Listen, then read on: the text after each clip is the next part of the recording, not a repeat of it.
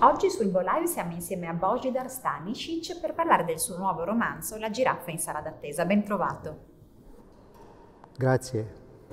Allora, chi è la giraffa che attende in sala d'attesa? Dentro e fuori metafora. Ma se entriamo troppo nelle metafore, credo i lettori non potranno avere più dei compiti, ecco dico.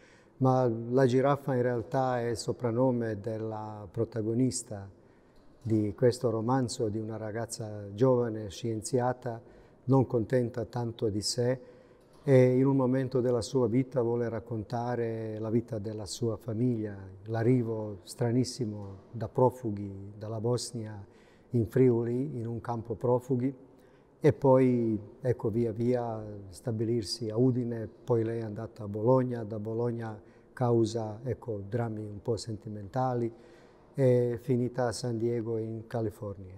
E questo libro lei l'ha scritto in serbo, ma è pieno, e ce lo fa notare l'editore che lo segnala nel testo, di parole in italiano. Eh, questa commissione di linguaggi eh, fa parte un po' della, immagino, della commissione del, dei linguaggi della sua vita, visto che è venuto a stare in Italia, ma in che modo è rappresentativa dell'unione di due punti di vista diversi, se lo è?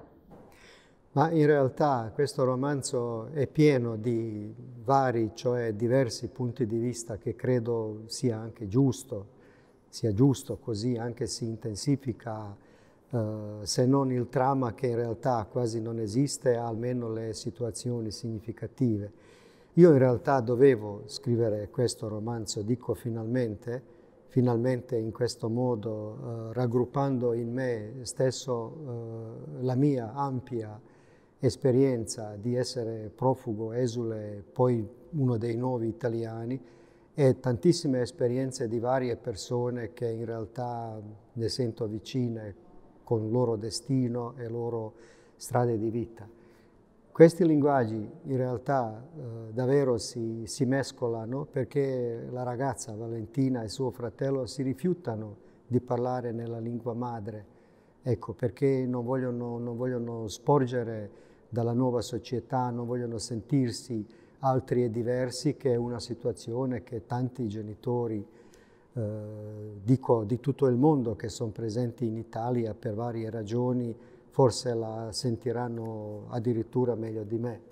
Ad un certo punto la eh, protagonista si domanda, forse la mia testa balcanica a ingannarmi? E mi sono domandata, com'è una testa balcanica?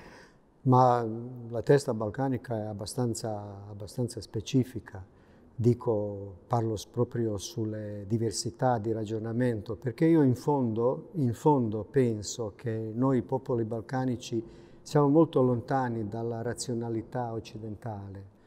Questa razionalità occidentale si manifesta in, dico, in varie situazioni, ma soprattutto quando si arriva altrove altrove, anche se per dire il vero, la mia generazione e generazioni precedenti siamo del tutto educati in base della eredità europea.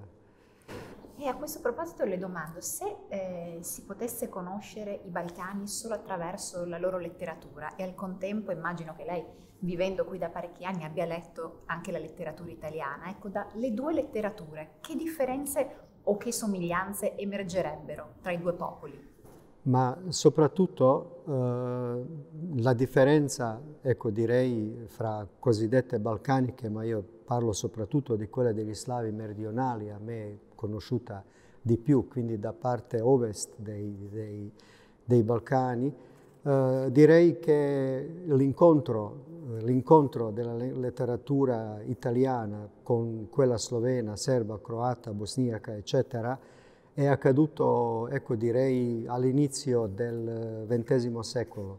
Prima noi sempre ritardavamo.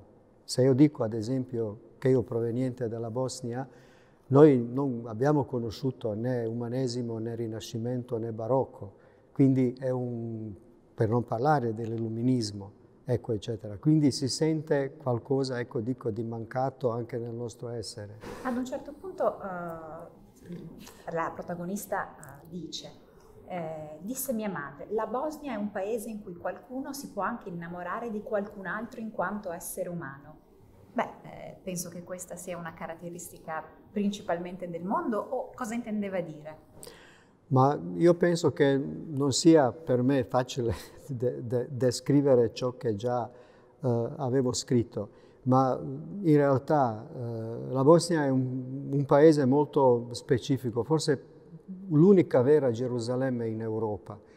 E poi direi una Gerusalemme mancata, perché io sarei molto più contento se voi foste venuti a Sarajevo a intervistarmi come un autore tradotto in lingua italiana, che io eh, venissi a Padova a, ecco, dico, partecipare a questa vostra iniziativa. Ecco. Penso che il fulcro, il fulcro in realtà ecco, sia lì specificità che deve essere scoperta dai lettori. E quindi eh, se dovesse suggerire un'esperienza eh, letteraria o anche fisica, un viaggio per conoscere questi posti, che cosa suggerirebbe? Ma io suggerirei, ecco dico senz'altro, partendo da, da Lubiana per capire l'incontro della cultura slava e quella mitteleuropea, poi anche Zagabria, ecco, poi anche, ecco, dico Spalato e Dubrovnik, come tocco con la, la, cultura della Serenissima e poi tutta questa parte Bosnia, Serbia, Macedonia, anche Montenegro, con eh, proprio chiarissime tracce della cultura orientale, turco-arabo-persiana, che si è, ecco dico, in qualche modo incorporata anche con dei linguaggi. Ecco, ci sono tantissime parole di cui ecco, in Bosnia nessuno vuole rinunciare, anche parole molto belle. Grazie mille e complimenti per il suo lavoro. Grazie per la vostra iniziativa.